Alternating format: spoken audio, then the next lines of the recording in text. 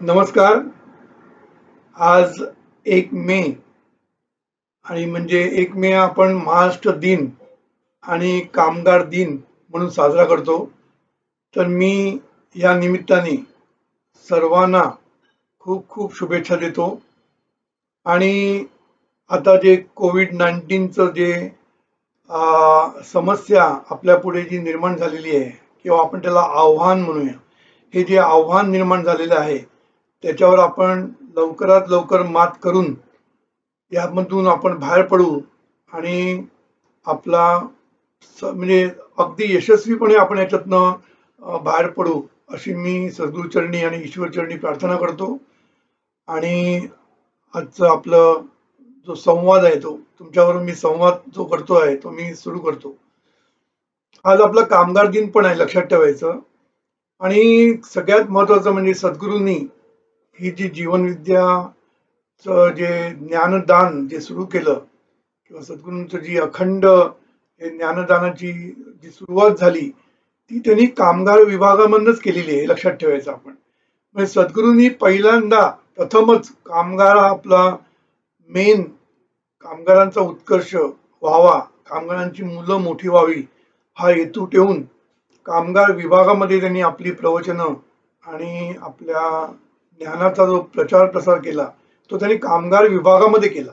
हे महत्वाचं आहे. आणि आज ती सगळी कामगारांची मुलं एका मोठमोठ्या पदावर काम करतायत आणि त्यांचा खूप उत्कर्ष झालेला आहे. नंतर सद्गुरूंनी आपलं सर्वांसाठी हे ज्ञान खुलं केलं. सद्गुरूंनी खूप पुस्तकं लिहिली ग्रंथ लिहिले. आणि सद्गुरूंनी हा विस्तार जीवनविद्या मिशनचा विस्तार आज संपूर्ण जगामध्ये झालेलं आहे. कारण जीवनविद्याचं ज्ञान सर्व जगाला आता भावायला लागलेलं आहे. कारण या ज्ञानामध्ये ना खूप म्हणजे ते धर्मातीत असल्यामुळे कुठल्याही धर्माची अडचण नाही कुठल्या भाषेची अडचण नाही आहे. कारण हे निसर्ग नियमावर आधारित आहे हे लक्षात ठेवायचं पहिली गोष्ट. त्यामुळे हे ज्ञान सर्व धर्मियांना आवडतं सर्व जगाला आवडू शकतं. फक्त आपण तिथपर्यंत पोहोचलो पाहिजे. आता आम्ही अमेरिकेत कॅनडामध्ये ऑस्ट्रेलियामध्ये पोचलेलो आहोत. आणि इंडियामध्ये तर आहोतच आम्ही. भारतामध्ये आमचं महाराष्ट्र हे जरी मेन अधिष्ठान असलं तरी आम्ही कर्नाटकामध्ये पोचलेलो आहे गोव्यामध्ये पोचलेलो आहोत राजस्थानमध्ये पोचलेलो आहोत. सगळीकडे आम्ही पोचतो आहोत. आणि या सर्वांचा एकच हेतू आहे सद्गुरूंचा एकच संकल्प आहे तो म्हणजे हे जग सुखी व्हावं. आणि हे राष्ट्र सर्वार्थाने प्रगतीपथावर जावं हे सद्गुरूंचं ध्येय आहे. हा संकल्प आहे सद्गुरूंचा. हे लक्षात ठेवायचं. म्हणून आपल्याला हे जर ध्येय साध्य करायचं असेल सद्गुरूंचा संकल्प जर सिद्ध करायचा असेल तर सद्गुरूंची जीवनविद्या संपूर्ण जगामध्ये पोचवली पाहिजे आणि ते पोचवण्याचं काम आपण करायचं आणि ते आपण करतोच आहोत आणि आपण जोरात करणार आहोत. त्याबद्दल शंका घेण्याचं कारण नाही. आता मी मगाशी म्हटलं की आता या कोविड नाईन्टीन हे जे आव्हान संपूर्ण जगापुढे उभं राहिलेलं आहे हे आव्हान आहे. मी संकट म्हणत नाही त्याला आव्हान म्हणतो. निसर्गाने दिलेलं आपल्यासाठी आव्हान आहे आणि हे निसर्गाने आपल्याला आव्हान का दिलं? कारण निसर्गाचं आपण ऐकलं नाही म्हणून. कारण सद्गुरूंची जीवनविद्या काय सांगते? की निसर्ग नियमानुसार तुम्ही वागा. निसर्ग नियमाला सांभाळून तुम्ही वागा. निसर्ग नियमाला समजून घेऊन वागा. तर आपण असे वागतो संपूर्ण जग असं वागलं की त्यांनी पर्यावरणाचा नाश केला निसर्गाकडे बघितलं नाही. त्यामुळे काय झालं? शेवटी निसर्गाने आपल्याला फटके दिले. तर हे आव्हान म्हणजे एक फटका समजूया आपण निसर्गाचा. आणि त्याच्यातनं आपण शिकलं पाहिजे की पर्यावरणाचं रक्षण करणं किती गरजेचं आहे हे आपण शिकलं पाहिजे. आणि निसर्ग नियमांना अनुसरून जगणं हे किती महत्वाचं आहे हे आपण आता शिकलं पाहिजे. आणि सद्गुरूंची जीवनविद्या ही निसर्ग नियमावरच आधारित आहे हे लक्षात ठेवायचं. संपूर्ण वैज्ञानिक दृष्टिकोन सद्गुरूंचा आहे याच्यामध्ये.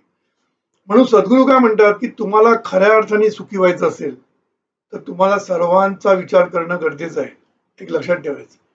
म्हणून या कोविड नाईन्टीनच्या समस्येमुळे किंवा आव्हानामुळे आपण सोशल डिस्टन्सिंगचा जो उपाय शोधलेला आहे तर मी मला असं वाटतं मी मगाशी सुद्धा म्हटलं की सोशल डिस्टन्सिंग जरूर करायचं आपल्याला. पण आपण मनाने मात्र एकत्र येऊया. मनाने जवळ येऊया. डिस्टन्स फिजिकली ठेवूया आणि मनाने मात्र आपण जवळ येऊया. हा सद्गुरूंचा बोध ध्यानात घेऊन आपण या आव्हानाला तोंड देऊया. म्हणून सद्गुरू काय म्हणतात खरा प्रॉब्लेम कुठे आहे? कोविड नाईन्टीन हा खरा प्रॉब्लेम नाहीये. मी आणि माझं हा जो रोग आहे ना प्रत्येकाला जडलेला आहे. काय रोग जडलाय मी आणि माझं हा जो रोग आहे हा जो व्हायरस आहे हा जो विषाणू आहे हा आपल्या संपूर्ण जगाला त्रास देतोय खरं म्हणजे. आज ज्या संपूर्ण जगापुढे ज्या संकट आहेत समस्या आहेत प्रॉब्लेम्स आहेत या सर्वांचं मूळ जर बघितलं तर ते मूळ मी माझं याच्यामध्ये आहे. मी आणि माझं मध्ये प्रत्येक माणूस एवढा अडकलेला आहे. माणूस अडकलेला आहे. सगळे धर्म अडकलेले आहेत प्रांत अडकलेले आहेत जाती अडकलेले आहेत पक्ष अडकलेले आहेत. सगळेजण स्वतःच्या अस्तित्वाचा विचार करतात. पण संपूर्ण विश्वाचा विचार कोण करत नाही. म्हणून सद्गुरूंनी काय सांगितलं? की मी आणि माझं हा रोग जर बरा करायचा असेल तर त्याला एकच लस आहे. ती सद्गुरूंनी शोधून काढलेली आहे. ती लस म्हणजे सर्वांना आणि सर्वांचं. सर्व सर्वांना आणि सर्वांचं ही लस सद्गुरूने शोधून काढलेली आहे. आणि त्याच्यासाठी सद्गुरूंनी आपल्याला विश्व प्रार्थना ही लस दिलेली आहे. कारण विश्व प्रार्थनेमध्ये हा एकच विचार आहे की सर्वांनी सर्वांसाठी सर्वांच्या भल्यासाठी सर्वांचा विचार करावा असा हा विश्व प्रार्थनेमध्ये विचार आहे. म्हणून विश्व प्रार्थना हे जे रहस्य सद्गुरूंनी आपल्याला म्हणजे गुरुकिल्ली आपल्याला जी दिलेली आहे आणि विश्व प्रार्थनेचं रहस्य आपल्याला उलगडून सांगितलेलं आहे त्याच्यामध्ये सद्गुरूंनी काय सांगितलं? की हा विचार आहे ना खूप मोठा आहे. आपण जेव्हा सर्वांचं भलं म्हणतो सर्वांचं कल्याण म्हणतो तेव्हा हा खूप मोठा विचार आपण करतो. आणि हा मोठा विचार जेव्हा जितका व्यापक असतो ना तितकं आपल्याला आयुष्यामध्ये सर्व काही ऐश्वर सुख समाधान मिळण्याची खात्री या विचारांमध्ये लक्षात ठेवायचं. कारण सद्गुरू काय म्हणतात की चैतन्य शक्ती जी आहे ती क्रिएटिव्ह फोर्स आहे लक्षात ठेवायचं. म्हणजे आज जी संपूर्ण जगामध्ये निर्मिती आहे ती सगळी चैतन्य शक्ती मधून झालेली आहे. आणि चैतन्य शक्ती मधून जाण्यासाठी मध्ये विचार हे कॅरियर आहे लक्षात ठेवायचं. म्हणून चैतन्य शक्तीतनं मन निर्माण झालेलं आहे. मनाचं मॅनिफेस्टेशन जेव्हा म्हणतो आपण आविष्कार चैतन्य शक्तीचा आविष्कार म्हणजे मन आहे. आणि मनाचा आविष्कार म्हणजे विचार आहे. आणि विचारांचा आविष्कार म्हणजे हे जग आहे लक्षात ठेवा हे जीवन आहे. म्हणून एक लक्षात ठेवा की आपण जो विचार करतो त्या विचारातनं हे संपूर्ण जग जगामधली जी निर्मिती आहे हे संपूर्ण आकार जे घेतो ते विचारामधनच घेत असतो हे लक्षात ठेवायचं.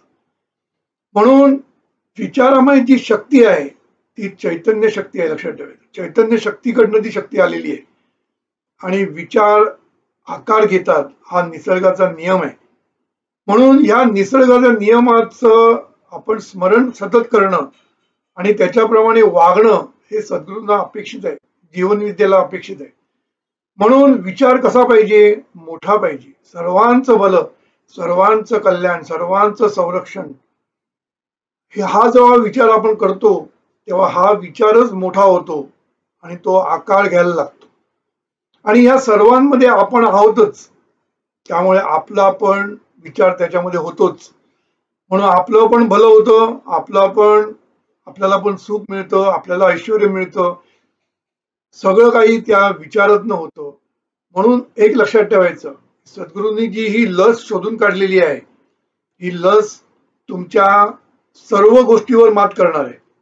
म्हणजे आज नुसतं आरोग्याचं समस्या नाही आहे याच्यापुढे कोविड नाईन्टीनचं जरी जरी आपण त्याच्यावर मात केली तरी त्याच्यानंतर आर्थिक सामाजिक राष्ट्रीय आणि वैश्विक समस्या निर्माण होणार आहे. आणि या समस्येला सुद्धा उत्तम उपाय म्हणजे सद्गुरूंची विश्व प्रार्थना हे लक्षात ठेवायचं. आणि या विश्व प्रार्थनेमध्ये सर्वांचा विचार जो केलेला आहे तेव्हा सद्गुरू म्हणतात काय की तुम्ही मनाने जवळ या. सोशल डिस्टन्सिंग असू दे पण मनाने जवळ या. आणि मनाने जवळ या म्हणजे एकत्र या. एकत्र येऊन एक दिलाने एक मताने एकत्वाने तुम्ही जेव्हा जगाल जेव्हा तुम्ही प्रत्येक समस्येला तोंड द्याल तेव्हा कुठलीच समस्या राहणार नाही लक्षात ठेवायचं. आणि संपूर्ण जग सुखी होण्याची क्षमता या एका विचारामध्ये आहे. तेव्हा आज मी मध्ये वाचलं होतं की डब्ल्यू एच ओ जे वर्ल्ड हेल्थ ऑर्गनायझेशन जी आहे त्यांनी सांगितलं की आज संपूर्ण जे वैज्ञानिक आहेत सायंटिस्ट आहेत सगळ्या जगातले ते सगळेजण एक दिलाने आणि एक मताने काम करतायत. कोणीही स्वतःचा विचार करत नाही स्वतःचा पेटंट स्वतः स्वतःचं महत्त्व ह्याचा विचार न करता सगळेजण डब्ल्यू एच ओच्या खाली एकत्रपणे काम करतायत. कारण संपूर्ण जगाच्या जीवनाचा प्रश्न आहे. त्यामुळे जगाच्या अस्तित्वाचा प्रश्न आहे. त्यामुळे सगळे वैज्ञानिक झट्ट आहेत लस शोधून काढण्यासाठी. आणि त्यासाठी ते एकमेकांशी कॉन्टॅक्टमध्ये आहेत. एकमेकांना काही सापडलं काही गोष्ट समजली तर ती एकमेकांना सांगतायत. जेणेकरून ही लवकरात लवकर याच्यातनं काहीतरी मार्ग निघेल. या भावनेनी सगळे सायंटिस्ट एकत्र आलेले आहेत सगळ्या जगातले. पण अजून आपण माणसं मात्र एकत्र आलेली दिसत नाही. आपल्याला आपला पक्ष मोठा वाटतो आपला प्रांत मोठा वाटतो आपलं राज्य मोठं वाटतं आपलं राष्ट्र मोठं वाटतं. या सर्वांवर मात करून आपण सर्वांनी ऐक्य म्हणतात जे राष्ट्रीय ऐक्य हे आपण आणलं पाहिजे. म्हणून आपण आहे ना सगळे लहान सहान विचार बाजूला ठेवूया.